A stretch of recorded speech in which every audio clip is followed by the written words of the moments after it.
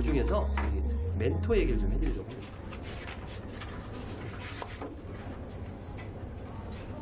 예, 190페이지. 자, 우리가 사랑과 존경의 차이를 왜 이렇게 타이틀을 하게 됐냐면, 아, 사랑이라는 거는 감정이에요, 감정. 물론 존경의 감정이 있지만, 사랑은 호르몬의 작용도 어느 정도 좀 작용을 해요. 물론 부모의 사랑은 좀 다른 차원이에요. 근데 이성 간의 사랑은 뭐 연구해보니까 뇌 호르몬 이런 걸로 인해서 뜨거워졌다 식었다 막 이래요. 그러니까 사랑은 갑자기 불타올 수 있어요. 그러면 어떻게 돼? 갑자기 식을 수 있죠. 근데 존경이 갑자기 불타오르나요? 그런 건 아닌 것 같아요. 근데 이제 존경이라는 게 그냥 뭐 그냥 돈이 많아서 존경 뭐 뭐, 뭐 이런 존경이 아니라 정말 그 사람의 삶을 들여다 봤을 때 내가 배울 점이 있다 하면 존경이고 존경 꼭 윗사람만 하는 거 아니죠? 네. 예, 아랫사람도 존경할 수 있는 거고 그런 차원에서 저는 부부간에도 서로 존경하고 존경받는 사이였으면 좋겠다 그래서 저는 늘 집에서 얘기해요 아내한테도 가끔가다 계속 나는 여보를 존경해 음, 존경해 이런 얘기를 해요 어, 그러면 그 얘기를 들은 사람은 어떻게 행동할까요? 존경받는 행동을 하겠죠 예. 어, 그런 의미도 있어요 어, 저도 마찬가지로 아내에게 존경받으려고 노력을 하고요 그래서 우리 주변에 이렇게 둘러보면 배울 점들이 많은데 여기서 오해하는 부분이 있어. 우리는 한 가지만 존경하면 돼. 그 사람의 한 가지만 배우면 된다. 모든 걸 다 배울 필요는 없다. 완벽한 사람이 있을까요? 없어요. 제 플랜에 써놨죠. 하늘을 죽는 날까지 하늘을 우러 한점 부끄러움이 없기를 이렇게 사는 사람 있을까요? 없어요. 부족한 점이 있어요. 하지만 장점도 있어요. 그래서 성공한 사람들 내가 닮고 싶은 것만 존경하면 된다라는 부분입니다. 아, 그래서 여기 쓴게 쭉 보면 191페이지에 뭐 콩깍지 얘기도 써 있죠. 그런 의미로 쓴 거예요. 콩깍지는 벗겨지게 돼 있다. 아, 그래서 192페이지 보면 훌륭한 점만 취해서 멘토로 삼아라. 어, 제 멘토님이 계신데 그 멘토님한테 사람들이 막 모여요. 본인도 이제 멘토링을 해주겠다 그래서 모였어요. 그 중에 상당 많은 분- 사람들이 떠나면서 기대하지 못했던, 그러니까, 기- 그러니까 밖에서만 봤던 거와 가까이 지내니까 흠이 보여 안 보여요? 예. 그러니까 실망들하고 떠나는 거예요. 그 사람도 인간이거든요. 근데 그분이 강의했다거나 본인이 약속했던 거는 난 실수한 거 한 번도 본 적이 없거든요. 본인이 하지 않았던 부분을 실수하시는 거더라고. 그리고 그것도 사석에서 말씀하세요. 나는 이런 실수를 했고 이런 게 좀 부족하다라고 말씀하셨는데도 불구하고 너무 기대가 큰 거예요. 그래서 굉장히 많은 사람이 떠났어요. 근데 나는 그분의 성공적이 그- 그분의 말씀이 좋은 거지 그 사람의 그 다른 사생활은 난 신- 관심 없거든요. 대표적인 게 연예인이죠. 드라마의 그 역할을 좋아해야 되는데 그 거기에 빠져서 그 사람 자체가 그럴 거라고 착각을 해서 뭐가 좀 조금이라도 잘못하는 건 막 질타를 해. 뭐, 뭐 연예인은 씹으라고 있는 연예인이니까 좀 씹어보면 이병헌이 대표적인 케이스인데 이병헌이가 맡은 역할은 물론 악역도 있었지만 대부분 멋있고 남자답고 정말 훌륭하고 사랑의 화신 뭐 이렇게잖아요. 뭐, 그 드라마 그 뭐야 그 얼마 전에 끝난. 미스터 션샤인만 봐도 정말 멋있잖아요. 근데 제가 아는 또 제가 주워 들은 이병헌은 전혀 그렇지 않습니다. 전혀예요, 전혀. 완전히 다른 사람이야. 사생활은. 근데 사생활도 그럴 거라고 착각하는데 그건 우리 욕심이죠. 완벽한 연기자인 거예요. 본인의 사생활과 거꾸로 연기를 하고 있으니까. 이거 명예훼손을 걸릴래나? 내가 뭐 구체적이 안 했잖아. 아무 얘기도 안 하셔요. 어, 나오기도 안 했어. 아무 근데 얘기도 안 내가 하셨어요. 주소, 아니, 직접 내 제자가 이병헌이랑 소개팅을 했거든. 아, 치를 떨더라고요. 어, 나는 연기자. 연기자 로 이병헌을 좋아하는 거지 그 사람의 사생활을 좋아하는 게 아니야. 나는 아무 상관없는 사람이거든. 나는 드라마 안에, 영화 안에는 그 인물을 좋아하면 되는 거죠. 어. 존경해요, 이병헌. 정말 대단한 사람이죠. 어. 그런 거죠. 그러니까 내가 담고 싶은 것만 배우면 되지 왜 모든 걸 다 하냐 이거지. 그러니까 저를 너무 믿지 마시라. 이거. 네. 저는 제가 잘하는 게 있어요. 네, 네, 네. 못하는 게 엄청 많은데 네, 네. 오, 그럴 줄 몰랐어요. 내가 그렇다고 했는데도 안 믿더라고. 나는 덜렁거리고요. 진짜. 뭐 빼먹고 다니고요. 뭐 이러고. 아, 안 믿더라고. 너무 큰 기대하지 마시라. 아니, 믿을게요. 덜렁거리는 거 믿을게요. 어, 그래서 이제 그 얘기를 쓴 거예요. 이거 스티브 잡스한테 스티브 잡스도 굉장히 훌륭한 사람이지만 흠이 많다. 기부도 안 하고 이렇단 말이에요. 그리고 했는데 말도 안 되는 기부를 했죠. 어, 다른 그 돈 많은 사람보다는. 그리고 그 자녀한테 되게 못되게 굴었대요. 뭐 그런 가정생활 그 본인이 자기 그런 얘기 안 하잖아요. 예, 본인이 창피하니까. 근데 그 사람의 모든 삶을 배우겠다 그러면 안 된다는 거예요. 어, 그래서 아니 뭐 저 테레사 수녀님한테 돈 버는 법을 배울 수는 없잖아요. 갑자기 웃기네. 테레사님 모든 걸 다 아실 것 같은데 우리 주식은 어떻게 됩니까? 어, 부동산은. 그런 거다. 그래서 8인의 스승을 모셔야 된다.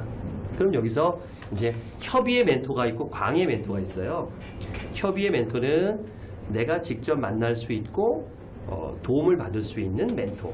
광의 멘토는 그 사람의 가르침, 책을 통해서 내가 스스로 그걸 실천해 볼 수 있는 멘토. 그러니까 저는 이제 광의 멘토로 좀 정한 거예요. 그래서 뭐 책이나 강연이나 이런 것들이 있으면 그 사람의 그걸 보고 내 거화 시킨다. 이 플래너는 그런 개념의 멘토입니다. 예, 그래서 멘토링 하는 방법이 여기 이제 뭐 그래서 제 나름대로 8인의 스승 그래서 쓴 거죠. 우리 플래너 기준대로. 그래서 저는 부는 경주 최부자 어, 이런 거 쓴 거고요. 뭐 건강, 취미 이런 식으로 제 나름대로의 멘토를 쓴 거예요. 어, 그래서 8인의 스승에게 묻다. 그래서 멘토들에게 자 스승이 생겼어. 그럼 그 사람의 가르침을 갖고 사는 것도 중요하지만 이제 돌아가신 분 또는 이런 성인들이라고 하더라도 내가 한번 그 입장을 바꿔서 생각해 보는 거지. 이런 거예요. 내가 갑자기 위험에 처하거나 당황을 하거나 막 이러면 시야가 확 좁아져요. 이게 스트레스 때문에 그런 건데 집중하라는 얘기야. 좋은 점도 있어. 호랑이를 봤으면 스트레스를 받으면서 호랑이만 집중하지 주변은 안 보이거든요. 그래서 우리가 스트레스 상황이 되면 시야를 좁혀요. 우리 인간적으로. 그래서 에너지를 집중시킨다고. 그러다 보니까 주변을 못 봐. 그래서 흘리는 것들이 되게 많아요.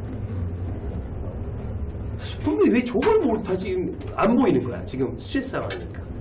그럴 때 내가 질문을 하는 거죠. 우리 스승님 같은 경우에는 이런 상황에서 나한테 뭐라고 말씀하실까? 라고 추측해 보는 거예요. 내가 시야가 좁아 있는 상태에서 좀 빠져나와서 내 상황을 보는 거지. 그럼 보인다? 사람의 뇌는요, 놀라운 능력이 있는데요. 제가 김경일 교수님을 되게 존경하는데 그분 강의를 되게 많이 듣고 책도 많이 봐요. 어, 연관, 연관도 많이 얻고. 사람은 누군가를 도와주고 충고할 때 놀라운 능력인데. 바둑은요, 8급 뚫은 사람도 5단은 훈수둔 되는 거잖아요. 어, 보인다는 거야. 남의 거니까. 지가 할 때는 안 보이는데.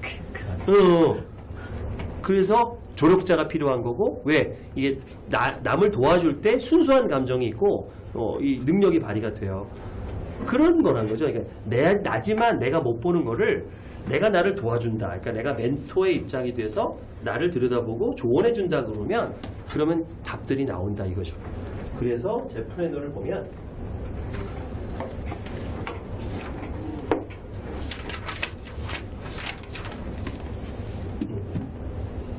요거부터 옛날 거. 멘토링이 어딨냐? 이게 이렇게 좀 더 디테일해졌죠? 멘토의 의견. 요거예요. 그래서 멘토를 정했고요. 요게 이제 질문한 거예요. 플래너 강사 과정이 생각만큼 잘 진행되지 않습니다. 어떻게 하면 잘 가르칠 수 있고 강사들에게 도움을 받을 수 있을까요? 라고 멘토에게 물은 거예요. 그럼 이제 여기 보면 이제 이순신 장군님의 이름이 있고 말씀이 있잖아요. 나를 알고 저를 알고 그래서 어, 그, 야 어설픈 준비로 전장에 나가서는 병사를 모두 이룰 수 있게 된다. 급할 거 없다. 철저히 준비해라. 확인 또 확인. 아직도 준비하고 있어요. 어쨌든 뭐 그렇게 이렇게 해서 그런 걸 쓴 거예요. 또 법료스님 아, 지금의 진척이 더 더된 것은 내가 자신이 없어서가 아닌가. 너부터 잘 가르쳐봐라. 강사가 급한 것이 아니다. 때가 되면 배우려는 사람들이 모일 것이다. 이렇게 법률스님이 그러셨을 것 같은 거야. 법률스님 늘 하는 말씀을 들어보니 네가 잘해라잖아 항상. 네가 잘해라. 뭐 이런 얘기. 오, 그런 것 같아요. 이용건 박사님. 아, 기존의 수강생 관리를 철저히 하고 매일 한 명씩 안부를 물어라.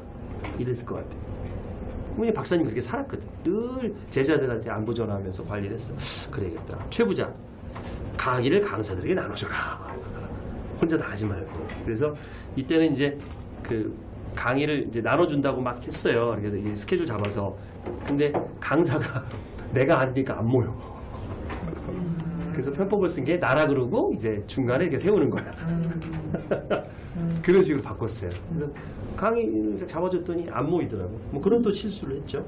그다음에 이동환 원장님 피곤하면 의욕이 떨어진다. 숙면, 휴식, 운동, 영양식, 긍정적 생각을 해라. 그래서 지금 노력하고 있죠. 이런 식의 이제 멘토들의 조언대로 내가 사는 거예요. 되게 유용하잖아요. 그래서 어렵고 힘들 때 평소에 처음에 뭐 한다?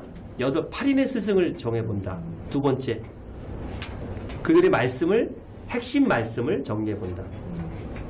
어. 그리고 세 번째는 계속해서 그들의 책과 강의 또는 가까이 있는 사람이라면 저는 멘토라고 얘기를 해요. 멘토로 모시겠습니다. 하고 적극적으로 도움을 청하는 거죠. 그리고 빈손으로 가지 않죠. 사람 기벤택이 있어야지. 먼저 선물 좀 드리고 약을 친 다음에 그다음에 와주십시오. 그게 인지상정이에요. 그렇게 해서 준비를 하고 이제 위기 상황이 없거나 고민이 있을 때 이제 정해놓고 살아계신 분이라면 만나서 조언을 청하고 아니면 내가 추측을 해서 한다. 라는 게 이제 멘토예요. 그래서 어, 저는 생각합니다. 저 강의할 때 많이 얘기하는데 어, 세상은 영웅들이 세상을 바꾸죠. 아닌가요? 어, 영웅들이 우리 영웅이 되고 싶어요. 우리는 아니 적당히 살다가 어, 아까도 제가 강의 중에 잠깐 얘기했는데 작품으로 살 거냐 제품으로 살 거냐 그죠? 제품은 얼마든지 만들어내잖아요. 근데 작품은 함부로 만드는 게 아니죠. 그러면 누구 우리 뭔가 소중하게 뭔가 살고 싶어.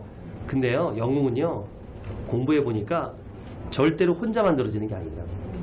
헐리우드 영화를 보니까 다 옆에 누가 있어? 조력자가 있어. 괜히 그렇게 만든 게 아니죠.